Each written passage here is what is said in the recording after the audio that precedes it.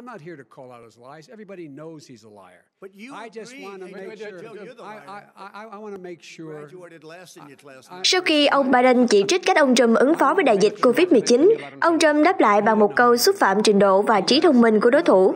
Ông không thông minh chút nào Joe Biden ạ. Ông Trump nói. Nhưng ông Joe Biden cũng chẳng ngần ngại gọi thẳng thừng ông Trump là kẻ nói dối, gã hề trong cuộc tranh luận. Mọi thứ ông đang nói cho tới lúc này đều là nói dối.